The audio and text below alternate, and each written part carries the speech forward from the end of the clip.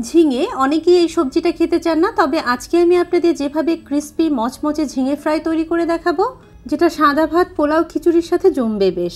আর যারা আমার মতো ঝিঙে পছন্দ করেন না, তারা যদি এভাবে ক্রিস্পি এক প্লেট ঝিঙে ফ্রাই পেয়ে থাকেন, তাহলে দেখবেন চোখের পলকই নাস্তা ভেবে এক প্লেট ঝিঙে ফ্রাই খেয়ে ফেলতে পারবেন। আজকে রেসিপি তৈরির জন্য আমি দুটো ঝিঙে নিয়ে নিয়েছি, এখন এই ঝিঙেটাকে খোসা ফালাবার আগে লম্বা লম্বা স্লাইস করে কেটে নিচ্ছি।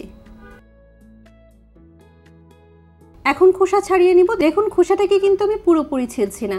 একটুখানি ফেলছি, আবার একটু খোসা রেখে দিচ্ছি। এভাবে করেই কাটতে হবে। কারণ ঝিঙে কিন্তু অনেক নরম একটা সবজি। পুরো খোসাটাই যদি ছিলে ফেলা হয়, তাহলে কিন্তু এটা অনেক বেশি নরম হয়ে যাবে। তাহলে এটাকে মুচমুচে করে ফ্রাই করা যাবে না।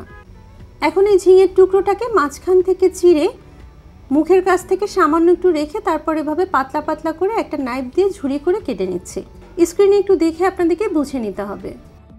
একইভাবে সবগুলো ঝিঙে আমি কেটে নিয়ে এটাকে ভালো করে পানি দিয়ে ধুয়ে, পানিটাকে হাত দিয়ে চিপে একটা প্লেটে উঠিয়ে নিয়েছি। এখন এই ঝিঙের মধ্যে সামান্য একটু লবণ আর লাল মরিচের গুঁড়ো দিয়ে এটাকে ভালো করে মাখিয়ে নিয়েছি। এখন অন্য একটা মিক্সিং বলে আমি হাফ কাপ পরিমাণ বেসন দিয়ে নিয়েছি আর এটাকে বেশি মুচমুচে করার জন্য দিয়ে নিচ্ছি ওয়ান ফোর্থ কাপ পরিমাণ চালের গুঁড়ো। আপনারা চাইলে কিন্তু এখানে কর্নফ্লাওয়ারটাও ব্যবহার করতে পারেন।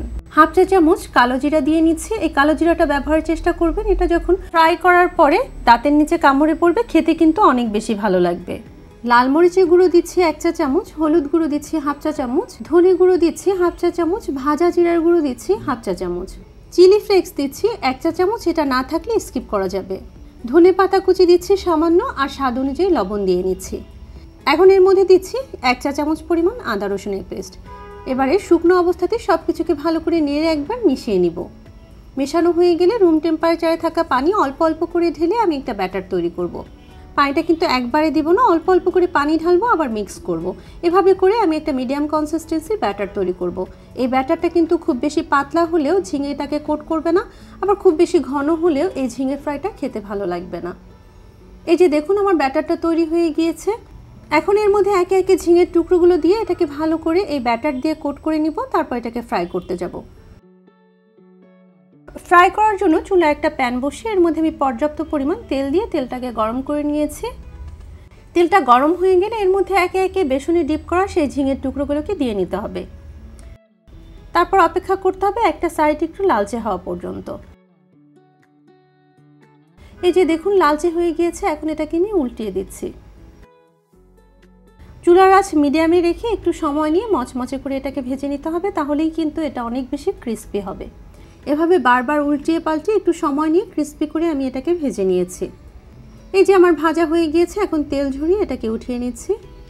ঝিঙে দিয়ে মুচমুচে ক্রিস্পি এই ইউনিক আইটেমটা তৈরি করে সাদা ভাত, পোলাও খিচুড়ির সাথে পরিবেশন করতে পারেন, আর এটা কিন্তু এমনি এমনি খেতেও অনেক বেশি ভালো লাগে। আশা করছি আমার আজকের রেসিপিটা আপনাদের ভালো লেগেছে। আর আমার করা এরকম নিত্য নতুন সহজ ও মজাদার রেসিপিগুলো দেখতে চাইলে আমার পেজটিকে ফলো দিয়ে রাখতে পারেন। আজকে এ পর্যন্ত আল্লাহ হাফিজ। আসসালামু আলাইকুম।